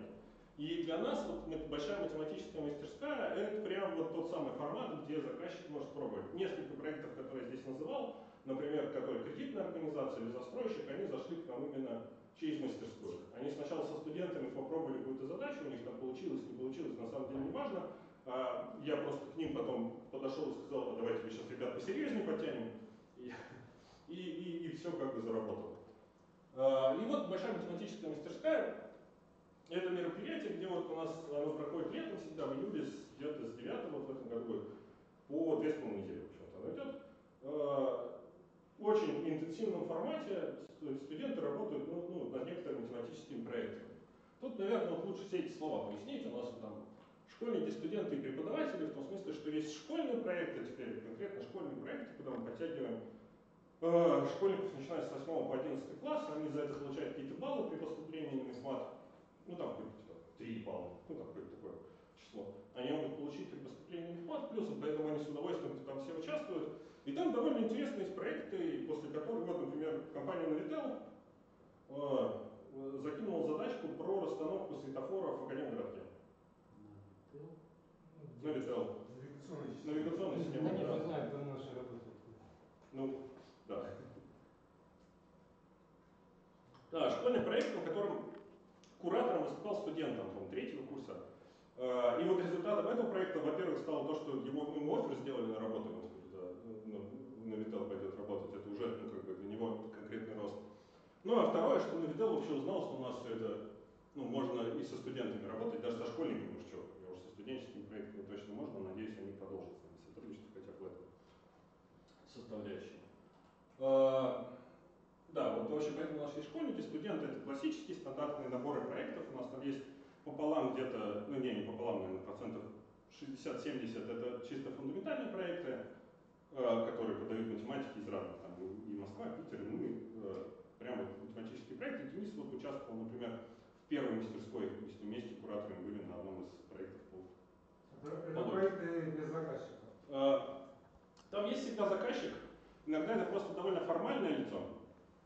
Это человек, который эти исследования проводит, э, делает, и он заказчик такой, знаете, я хочу студентов все новых найти.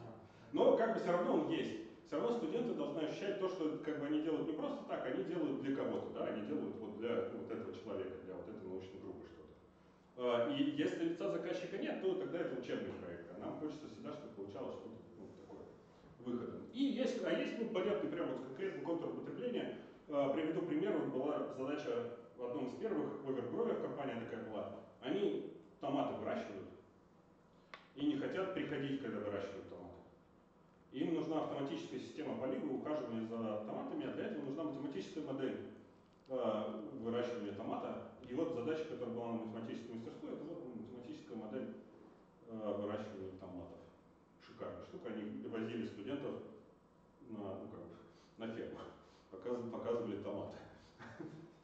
А, Но сама вот задача чисто вышла математическую, мы с ними даже дальше там сотрудничали, но потом сама компания, мне кажется, ну, перешла куда-то в другие ну, в области томатами перестала заниматься. А, Да, это, в общем, вот э, дальше кураторы. Кураторы это те люди, которые все две недели ну, вот этой активной работы сопровождают э, сам- саму работу студентов или школьников, в зависимости от этого куратор.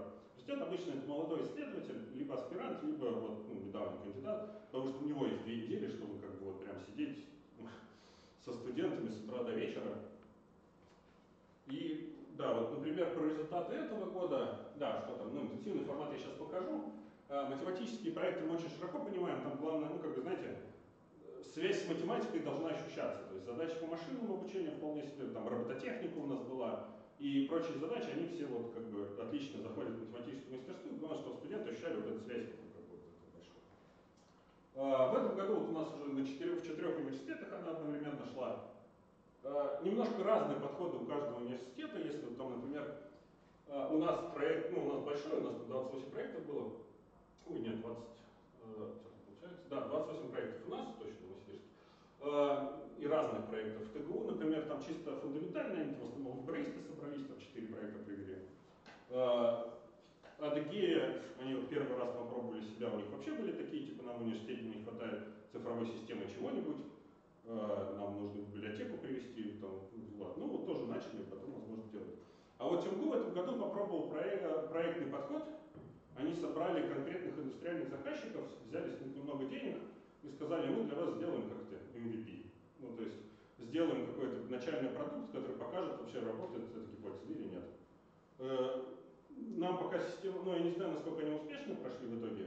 Они говорят, успешно это надо ну, разбирать конкретно по кейсам. Э, Но сам подход очень нравится. Мы в этом году в мастерской тоже планируем такое делать. Я буду отвечать как раз за направление, когда мы индустриальных партнеров подтянем и попробуем решать их конкретные задачи, ну, может, за небольшую денежку. Хотелось бы, ну, как бы, условных спонсорских денег получить для себя одну мастерскую, потому что она достаточно дорогой проект. Э, Чтобы вы понимали, я тут просто покажу этот слайд. Интенсивный формат это вот такое. Они каждое утро с 10, ну на самом деле здесь вот стоит до 7, ну вообще там часов до 8 до 9, они каждый день, вот, вот 6-7 дней в неделю студенты или школьники работают. И это прям вот, вот такая штука. Э, Я просто слайд использовал для того, чтобы показать, что это действительно интенсивный формат. И вот для чего она и нам, и остальным, и всем нужна вообще мастерская.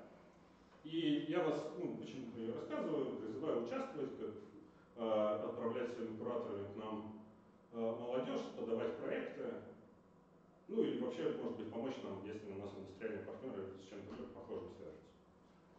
Так вот, студенты, они могут себя попробовать в научной или в другой какой-то сфере э, научного руководителя найти. У меня так вот несколько студентов вот сейчас специализируются как раз после мастерской.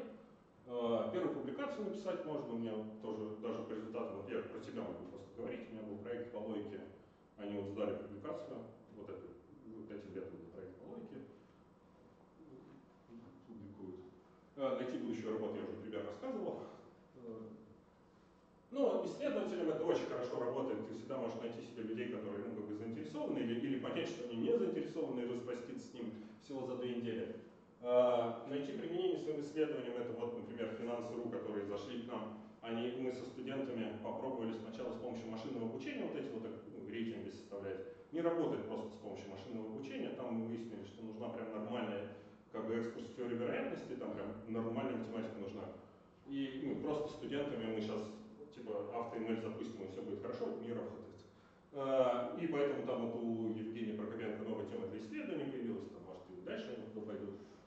А, Ну, заказчик, вот эти быстрые эксперименты мы попробовали, поняли, мы теперь прям будем активно это использовать как какой-то, знаете, дешевый способ проверить да, свою гипотезу. Он рабочий, студенты потыкаются, какого-нибудь нормального куратора, если посадить, там можно прям получать нормальные э, идеи.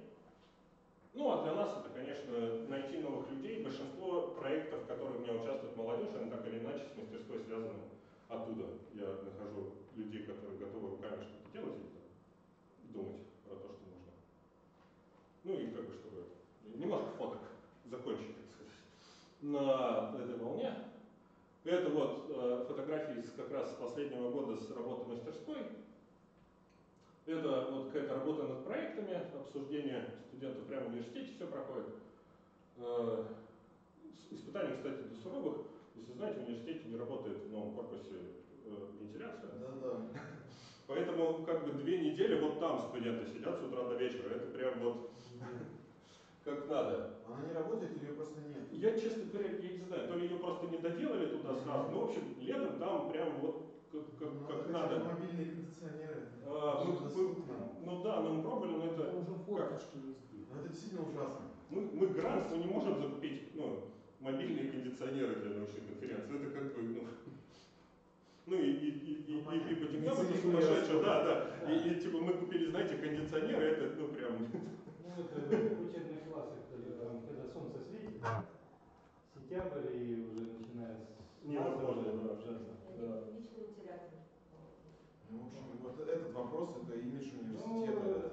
это, это университет, это нужно решить. большой отряд. Ну это, в общем, надо э, куда-то еще. Без розеток его сдали, без телефона, ничего. Странно, что никого не посадили. Тут вот эти, да, да, сейчас, да, давайте. А, Это они докладывают, Да, да, да. В общем, вот два проекта, например, это ну, какие-то вот пленары, это когда они докладывают промежуточные результаты. А, Первый проект это обучение, ну то есть там задача изначально такая была. А, Есть набор дронов, роботов на самом деле, которые ездят по складу, и ими нужно управлять удаленно. Ну, это то, что, например, делает Amazon, только ну, на каком-то более низком уровне. И хотелось научиться управлять не каждым, а использовать ну, какой-то либо роевой, а, роевой по каким-то причинам не подошел, уже я не помню почему. Ну, в смысле, какие-то такие подходы. И они использовали модель обучения, которая с подкреплением, а, для того, чтобы один ну, следовал за каким-то там другим, чтобы они цепи вот эти научились выстраивать. А, Робота, чтобы переводить. Я, ну, ну, он, конечно, не закончен проект, но студенты научились и сделали робота, нравится. Они в конце так, ну, прям а, конкретно ну, какую-то модель физическую сделали этого робота, который ездил и обучался. А второй проект тоже с- с- с- выступление было, это определение истинности авторства Евгения Онегина. М. Типа известная какая-то, ну, относительно известная, ну, я не знал до этого, теперь знаю, а, что последняя глава Евгения Онегина вроде написана не Пушкиным. А, известный миф э, в гуманитарной среде. И вот нужно было проверить, используя, ну, вот как бы распределение по словам, распределение букв там и, и подбор этих, правда или нет. По, по нашему мнению, по результату проекта, правда Пушкин. Но, может, он очень хорошо кто-то эмулировал. А, У нас там есть эти большие какие-то там мероприятия, которые объединяют людей, типа квизов.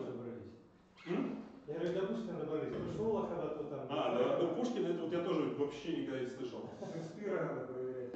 Вот это, вот тут я есть просто на этой фотографии, поэтому расскажу про нее. А, Проект у нас был а, «Сложность карточных игр». Ну, реально, не просто карточных, есть такая компьютерная игра Hearthstone. А, э, Ну, как бы м, пытались понять вычислительную сложность, насколько сложно ботов делать. Ну, прям начали с обычной алгоритмической сложности, э, доказали там НП, а потом и PSpace некоторых там подходов. Ну, что достаточно сложная игра. Ну, она просто современная онлайн-игра. вот. А это ее распечатанная версия. Выглядит как будто мы просто играем, но мы не просто играем. На этом мероприятии. Ну и все, на этом слайде я закончу. Это вот участники этого Давайте пообсуждаем, чего обсуждается. Вопрос насчет менеджмента рисков проекта. Правильно понимаю, что частично достигается за счет разделения на маленькие этапы, и вот мастерская, это в частности, один из этих этапов. Э, Что-то еще может быть есть. Есть э, разные подходы. Э, когда, ну, у нас есть э, вот эти большие проекты, да, то есть когда там условно Русатом, э, там менеджмент рисков осуществляется в том числе их стороны. Они конкретно прописывают все, все шаги в сторону, все, что может пойти не так, э, сколько человек, ну, то есть и отслеживают, прям, ну, они используют собственные трекеры, например, для нашей работы, чтобы у нас никто никуда не пропадал. А вот в этих проектах, которые, ну, такие более, где, где нет понимания у той стороны, что мы должны и как делать, э, там обычно все, как привлечение, во-первых, консультантов закрывается. А, то есть, когда, ну, то есть, либо у тебя сразу человек работает с той задачей, которую он умеет делать, то есть, например, по теории вероятности, тот же Евгений Прокопенко, он знает, сколько времени это займет, мы можем это проговаривать и с заказчиком в том числе, поэтому этапы, да, можем прописать. А в тех же случаях, когда нет задач, там мы сразу по-честному говорим, у нас, да, будет первый этап, аналитика, мы с вами сейчас, ребята, вообще поймем, это можно делать, нет, возьмем на это месяц, ничего не обещаем, ну, как заплатите нам денег. А, Вот. Сейчас начал работать. Э, Не все проекты на это соглашаются, но вот сейчас уже нормально. Э, Недавно был проект, э, вообще абсолютно для меня удивление было. Э, Ну, они обратились, вот как раз эти Starbucks, а, ну, типа, можете поработать, а потом они предложили оплатить нам время на обдумывание, какой команды нам понадобится. То есть это как бы вообще какой-то уровень, который я никогда еще не встречал, чтобы они, ну, типа, предложили оплатить нам работу по придумыванию проекта. Вот, но обычно не так. Ну, первый этап сейчас более-менее, что ты говоришь аналитику, мы с вами, ребята, научную задачу решаем, поэтому ничего обещать не можем. Ну, как бы в рамках разумного что-то сделаем, но вот скажем об этом через месяц. Это нормально работает.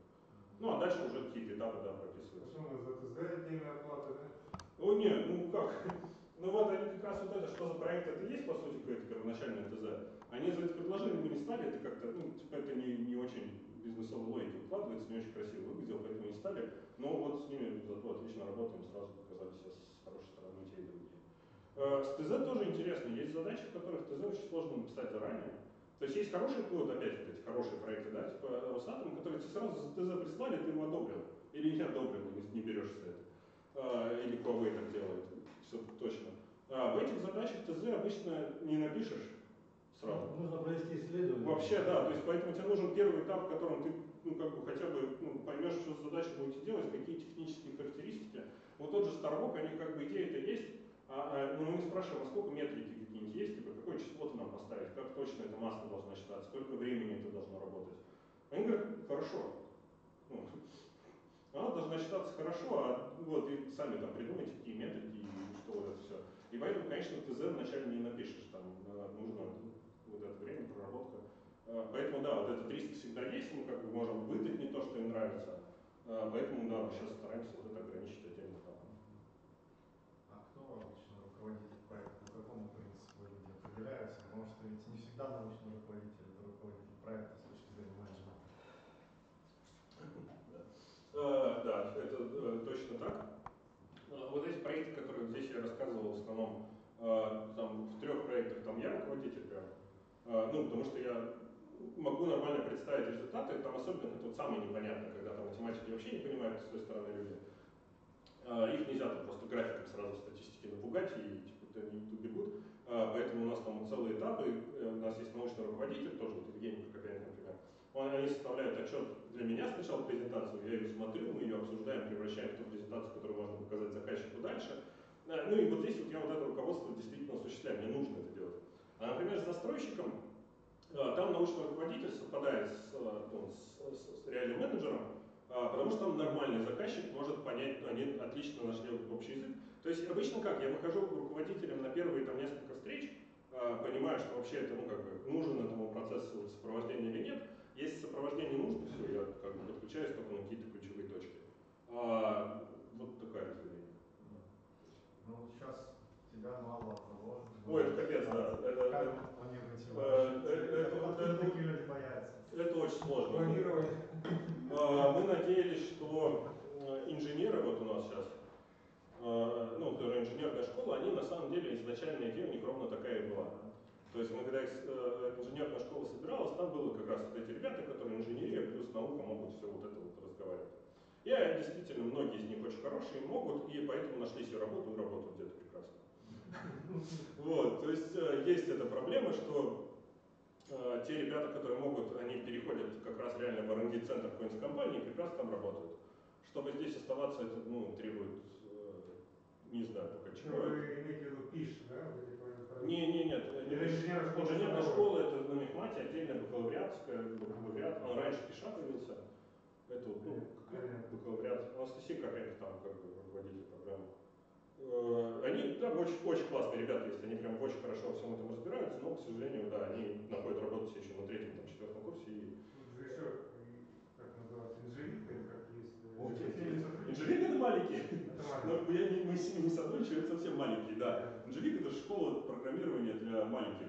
Да. Не, инженер школа, бакалавриат с первого курса мехмата, просто параллельно две группы у нас. Она сейчас обычно. существует еще? Да, да, сейчас вот второй выпуск про, э, вот сейчас будет. Первый вообще великолепные ребята, их там из 40 добралось там 17, и они все там, конечно, прям как надо э, нормально работают. Я, ну, с многими из них вот я как раз по проектам сотрудничал, но вот сейчас, к сожалению, они все там расходятся. Тяжело. Ну, э, проблема с кадрами это просто капец. Типа, не хватает, не хватает не, не только вот этого руководства уж ладно, э, не хватает вот этих рабочих рук, которые готовы подхватывать. То есть если руководителя научного еще можно найти, то ему команду это очень сложно собрать. Хорошо, если у руководителя сразу есть там набор студентов, которые все это будут делать, но это не так чаще всего, и все, и мы утыкаемся. Просто ну, как бы, ограниченное число проектов, ну, студентов есть, которые готовы что-то руками нормально поделать, ну, в смысле, там, руками, я, общем, в общем говоря. М, Тяжело, да, это прям большая проблема наша. А студентов вы оплачиваете, да? Кого? Там хорошая идет. А, Да, студенты очень-очень хорошо получают за такое, э, ну, за участие в таких проектах. Видите, тут в чем проблема? С одной стороны, они хорошо получают за эти проекты, с другой стороны, не постоянный заработок. Ты не можешь как бы, ну вот, с- ну, то есть потока проектов у нас нет, чтобы я сказал, что это Это студент. пока студент он может. А, да, то есть если как бы у тебя есть, ну, если, например, лаборатория ПЦТ, она решает это чем? У них есть, э, ну, как бы, работа над проектами, плюс они подают гранты, да, например, убирают, еще что-то, ну, то есть добавляют. То есть они, э, у них есть вот эта компетенция, вокруг которой они работают, там, машинное обучение, например, там, в физике. И вот вокруг него они или гранты получают, либо проекты решают. И ну, как позволяет. А у меня-то временные коррективы, я не могу как бы человека на работу взять, у меня нет для него вот этой базовой деятельности, что ли. Вот это есть в этом проблема. С- Ну, с одной стороны, мне да, это очень нравится, что я разные вещи сам пробую, и разных математиков подтягиваю, разных специалистов, но с другой стороны, да, есть там проблема, что нельзя обеспечить ну, вот это базовое функционирование. Это. А А, Ну как, не, мы, мы, работаем не с мехматом, мы работаем с теми людьми, кого знаем, больше так. То есть если как бы, если есть с кем э, ну, работать на фите, э, мы готовы вообще. Вместе это студенты, фита. Студенты, да, просто э, со студентами мехмата мы же тоже не работаем прям со всеми, потому что я не могу просто студента к проекту подключить. Это ж сильно лотерея, это ж прям вообще, он, он, он пролетит, а мы потом так пролетим, что я ну, типа не готов. Там нужен студент, которого ты уже знаешь, например, мы по мастерской узнаем, мы их привлекаем, а так просто, ну, надо ли рекомендацию какую-то или еще что-то. это ж- А, Вопрос авторских прав в математической мастерской в конкретных проектах как решается? Э, в конкретных проектах решается. То есть там очень по-разному бывает. Э, Был проект, например, по выпиливанию фанеры. Э, Ну, это оптимизационная задача, на самом деле, была. Надо было уменьшить количество обрезков куска фанеры, когда ты на детали ли- ли- ли- делаешь. Были зарубежные аналоги программы, они их позакрывали тоже. И вот ну, стали у меня там у нас прошлогодний проект. Э, И ребята вот сделали, да, они написали алгоритм, э, который ну, быстрее, чем даже западные аналоги были. э, И вот его запатентовали у нас ну, в НГУ. Там то, что заказчику неинтересно было. А есть такие проекты, про которые я там название сказать не могу, не то, что уж там авторские права сохранить. Так что разные. А в мат-мастерской, например, какой-то исследователь предложил проект, студенты А, там- кому принадлежит результат. Если вы про публикацию, например, публикация под ссылка на мастерскую ставится, ну как на грант. То есть обычно э, в мат-мастерской до патентов не доходит. У нас было три патента, а, три патента, они ингушные. Но и тут, ну видите, там и не было проблемы, что там был кто-то не из ИНГУ, там были ребята ингушные. Понятно. Все, то есть как бы там нормально сошлось. А, будет такая, будем решать, пока не нет. Вопрос такой, э, каким образом вам удалось добиться, что к вам люди пошли со своими э, проектами, от которых, для которых от вас они ждут э, реализации? Сколько времени на это ушло и какие, какого рода усилия? О, да, во-первых, э, спасибо большое за слово «пошли к нам», потому что, ну, это вот, я бы назвал, я бы этот ручеек, конечно, не назвал, ну, как бы, «пошли» прям, то есть это э, вообще не так. А, Есть, э, ну, как бы, я просто попал, так или иначе, в некоторый набор ассоциаций, которые включают владельцев бизнеса, и там они друг друга могут э, спрашивать. То есть, вот, э, э, например, у нас там вот Сколково, там у нас ребята обучались, мы оттуда знаем несколько ну, владельцев нормального такого среднего бизнеса, а, и мы говорим, вот мы, вы же нас знаете, давайте как бы вот что-то. И они запускают, на них смотрят какие-то еще, они запускают, это вот э, один из способов. Второй, там вот новосибирские, в этих, во всех там акселераторах, где появлялись, вот, которые тоже сидят э, бизнесмены, вот им рассказываешь, у нас есть такие проекты, и оттуда что-то сейчас пошло. Это вот такие прям направления, когда ты в реальную ассоциацию каких-то людей должен попасть, и, и тогда они тебе поверят. То есть очень много общения в профессиональных кругах, да? Вы очень, э, не, ну, это не профессиональный даже, то есть э, как бы... Связаны. Да, да, это очень много общения вот на специальных вот этих мероприятиях, да, где ты каждому рассказываешь про то, что Мгм. вот ты математик. И они уже вроде, а, это тот математик, и в какой-то момент, мне кажется, это срабатывать начинает, но пока очень мало. А, то есть мы вот работаем с этим сколько, четвертый год, там, три, ну, три года, и ну, я бы не назвал эти результаты прям великолепными, чтобы, знаете, чтобы прям такое пошло. А, и, ну, я, я даже не назовешь системным все равно, то есть как бы, а, ну, мы пробовали холодные вот эти вот, как называется, когда ты прям реально пишешь компанию. Холодная, ну, э, эти, это не работает вообще, прям вот от слова. Мы взяли прям 100 лучших компаний России, взяли, написали всем письмо, э, давайте, три ответила, остальных, видимо, спам сразу ушло и все. То есть это прям все, все, все на, человеке зависит, ну, за- зависает где-то. То есть ты с человеком каким-то поговорил, он тебя уже с кем-то познакомил, тогда это срабатывает. А вот это вот пустой, ну, холодный этот обзор, он э, не, не- не срабатывает. Пока, ну, у нас, по крайней мере, я не знаю. А, при этом я знаю, есть же вот, например, питерский политех. Э, ну, а питерский политех это сейчас эти главные по машинному обучению в России. Боровков. Э, они, ну, и они при этом, мне кажется, они просто когда-то это сами сказали. Они там года 3-4, ну там 5 назад сказали, мы главные в России по искусственному интеллекту, и повторяли эти 5 лет. Это как вот с той первой позиции. Да, да, да, то есть они вот очень много повторяли, к ним начали обращаться, и сейчас у них вот уже вот этот прям, у, у них, ну то есть если я говорю там про 20-30, они говорят про там 2-3 миллиарда в год. Я, я вот был на а, как раз отчетное мероприятие двух центров научных, ну, ну, это, набора центров, нау- научных центров мирового уровня. А, вот там был Боровков, вот он говорит, ну у нас там 2-3 миллиарда. Такой, ну, хорошо, мол. А у них схема такая же примерно организация, А? Ну, не- у них Тоже студенты, аспиранты? Да, да, у них это все то же самое. Они студентов, аспирантов подтягивают, но у них, ну, у них команда, вот именно, они, они больше как вот Рустам. То есть они вот машинное обучение. Мы как бы собираем под них специалистов всех вот всех мастей со всей страны и не только. И вот типа вокруг этого крутимся. Ну, шикарно работает в плане успешности. Тут я уж не буду говорить, насколько они действительно самые лучшие специалисты в России, но как себя подали они хорошо, потому что сейчас они авторы с- как его, сертификации по искусственному интеллекту.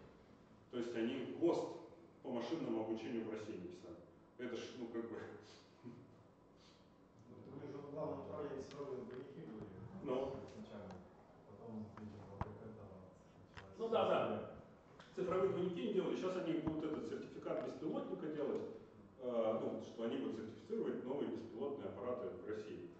То есть а, они уже как информационный центр могут работать? Они уже там, То есть проверенное программное обеспечение будет? все, все, там как бы, там, ну, они, ну, то есть, как бы, если мы про успешность индустриализации, эти ребята точно самые в России, наверное, самые большие научные центры, именно индустриализация, что решение индустриальной задачи. Вот э, был форум «Золотая долина», э, нам многие 12 ООО качеством программного обеспечения занимались.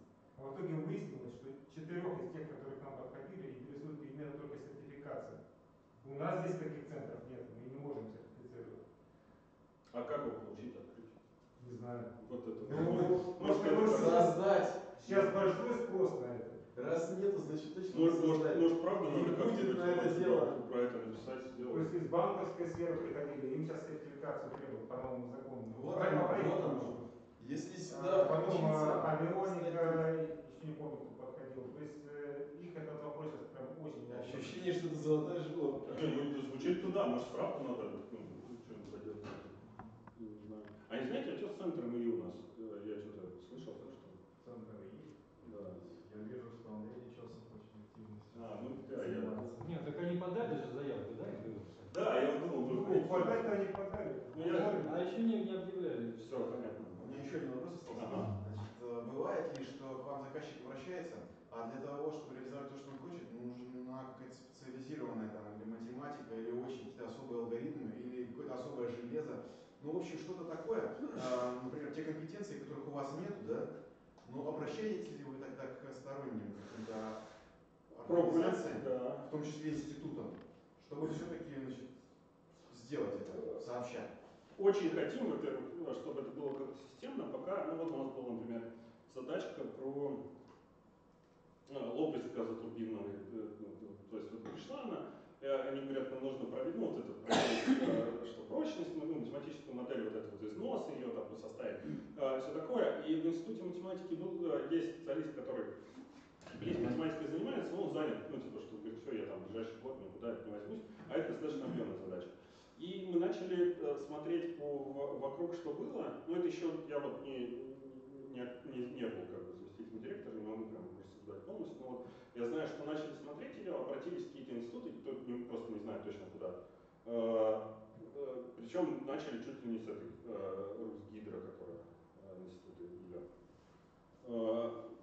И там как-то все ну, отвечали, там, во-первых, вот, ну, как бы, непонятно, как делить деньги начинается, там Мгм. разговоры даже, вот, кто, куда, как, то есть, то есть, вот, например, вот коллеги, которые из, из ММГ у нас сейчас работают, там же очень сложно, как бы мы не можем, ну, как бы они в институте в одном работают, а у нас работают в проекте, поэтому их надо на совместительство брать в университет, а получается институт получаем какие-то деньги. Ну, то есть вот, вот начинается вот эта проблема, что с грантами очень тяжелая.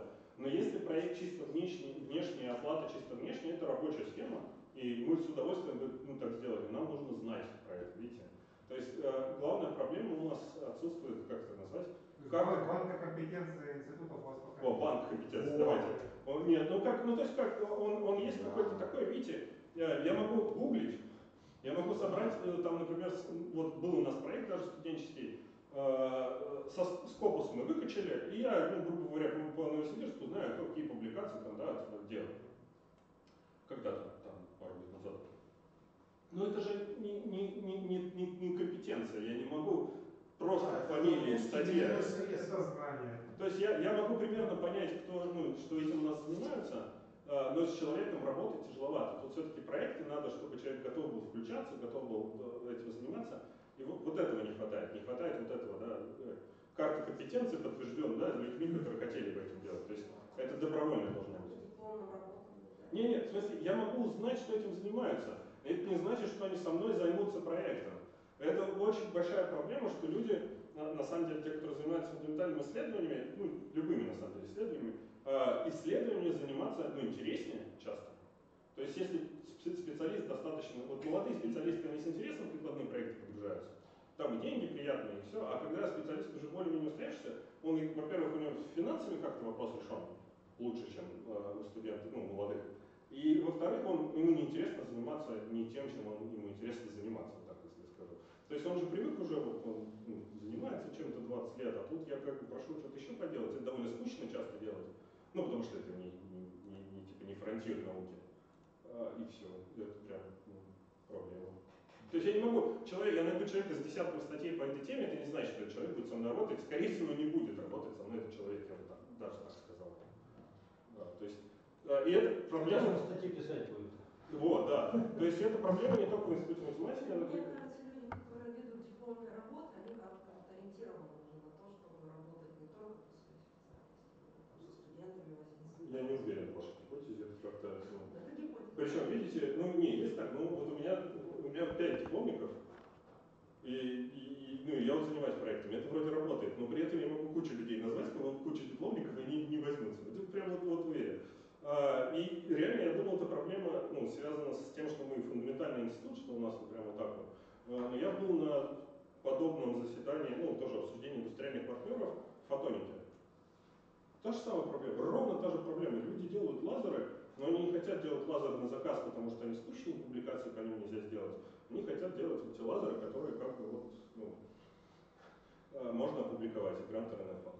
То есть это прям вот как бы общая проблема, как людей вот, мотивировать вообще заниматься наукой. Ну, деньги более-менее работают, но тоже ограниченная штука, ты можешь сколько угодно повышать. В целом правильно понимаю, что если у института есть люди, которым интересно, Я с удовольствием, да. центр может быть посредником и переводчиком. Да, да, и я прям очень хотел бы включить сеть. У нас очень, э, у нас, во-первых, не хватает, э, ну, вот именно специалистов в программировании именно. А, то есть у нас есть вот эти по машинному обучению, э, понятно, ребята. А вот, ну, прям классический, когда надо код написать или оптимизировать код, вот я, например, про автоплане, вот мы начали говорить, задача расписаний. У нас есть ребята по оптимизации, но вот когда тебе нужно код оптимизировать уже готовый, этого у нас никого нету, и вот, вот, вот такая часть, она прям конкретно открытая, я бы с удовольствием закрыл где-нибудь вот отсюда. Но если делать такой банк компетенции, то какую информацию, Ой. Я даже не знаю, это, надо, наверное, какой-нибудь, непонятно. Не, не, не, гугла же таблицу, то есть это вроде все не, не так работает, что ты, типа, заполните Может, для первого этапа, да, э, каких-то людей, с которыми можно поговорить, которым было бы интересно, но это вот обычно все, да, вот, передача, передача, передача, что люди говорят о том, что хотели бы. Просто название темы может быть достаточно. Хорошо, если есть пример проведенных проектов, это понятно. Если нет, то вот что может быть как бы индикатором для вас? Честно, я бы, ну, то есть это вот я пример только привел, я, я, я вообще не знаю, что будет завтра, то есть кто, какой проект придет еще. А, мне бы хорошо наоборот понимать, что я могу предлагать. А, что я могу предлагать, это пример реализованных проектов. Вот, э, очень классно, если от вас можно получить ну, человека и реализованные проекты, которые были. Что вот, ну, вот такое мы делали. И я тогда, ну, вот там я вот этот список составлял, я этот список побольше сделаю, буду показывать его в какой-то презентации побольше. А функция бюджетных средств программы возрастает? А, Нет? Ну, наша, наша, в смысле, наша возрастает, требований нет. То есть мы чуть-чуть вроде ну, ползем вверх, но не сильно. Ну, то есть там как бы ну, 20, 25, 30, ну, типа не, не так, чтобы прям... Чуть больше 16 всегда выкладываетесь. Э, В смысле, у вас же 16 нужно по? Да, но сейчас 30 это вроде А, ничего вот. больше. А. Да. Да, инфляция. А если с учетом инфляции, наверное, даже Требования не растет. А, ой, ну я не знаю, это сложное рассуждение. 5 миллионов, что это получается? Шесть? Непонятно. Ну, нет. А, ну, не- сложновато мне в, этом плане рассуждать. Я понимаю, что проектов у нас стало побольше, э, круг их расширился, э, по деньгам не всегда они больше становятся. А Тут же вот эти деньги, они очень, там бывает один проект Росатома пришел, типа он большой, там большая команда, они вот делают. А бывает, не пришел, мы вот этими мелкими добиваем, вроде те же деньги, но работа совсем другая, тут сложновато рассуждать. Растем мы вроде да, э, большими шагами, вот так вот я скажу. А бо- большой процент университет забирает? Или как-то по-другому все устроено? Э, По-другому все устроили, я так скажу. Потому что я знаю, университет обычно он там, мы были вот, с Минумером, да, работали, они там половину, по-моему, забирали. Не, нет, э, сейчас 20% университет забирает, но не у нас. Вот. Не у вас. У вас особая договоренность, да? Ну там, да, это, это, были свои, так сказать, Ну, когда-то. да, было, да, да. да, но, но договорились. Коллеги, у онлайн участников есть вопросы, замечания? А вот не пишут что-то они. Может, в чате там что-то? Да Что не там? было ничего. А где Мединский? Ушел уже? Есть.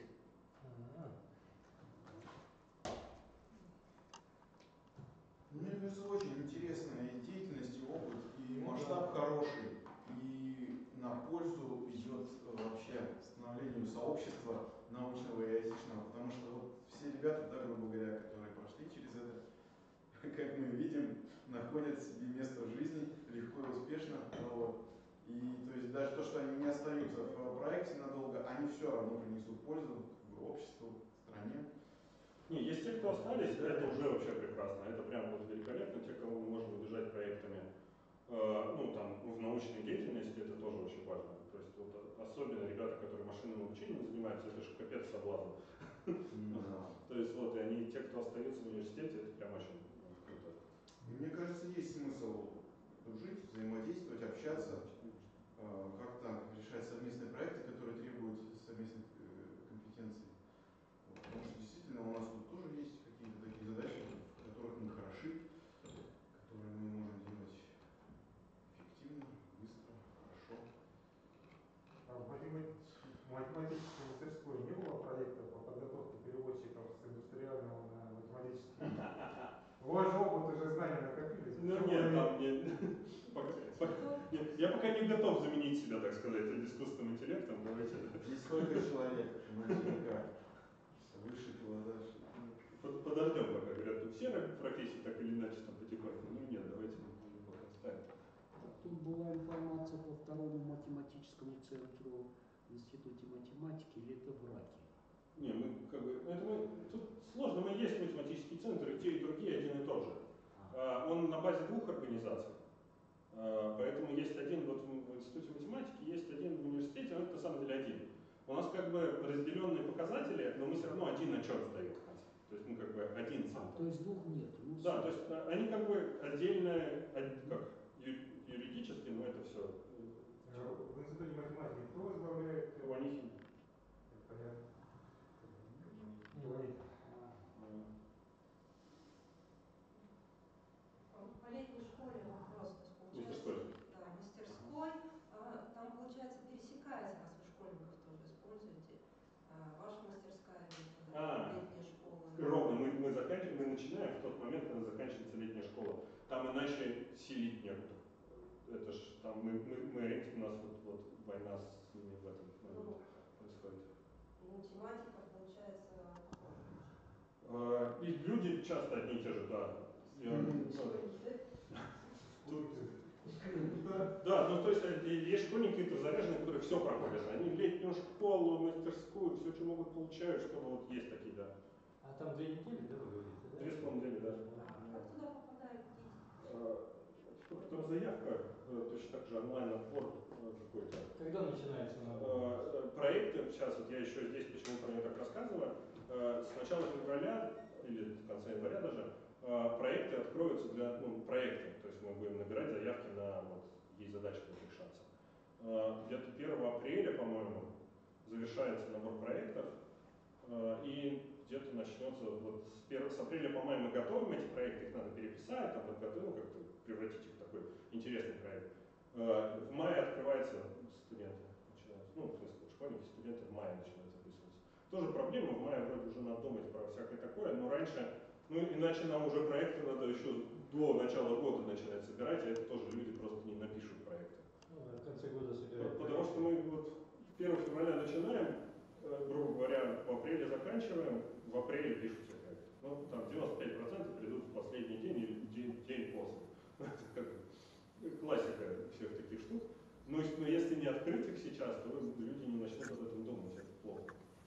Тем более, сейчас мы индустриальных партнеров хотим побольше подтянуть, это ну, сложновато,